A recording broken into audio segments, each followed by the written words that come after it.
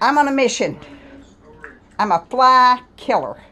I had to leave my doors open all night long and sleep like that. So today, I'm killing flies.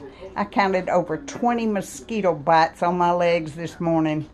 I'm telling you, y'all, it's rough out there. Stay safe.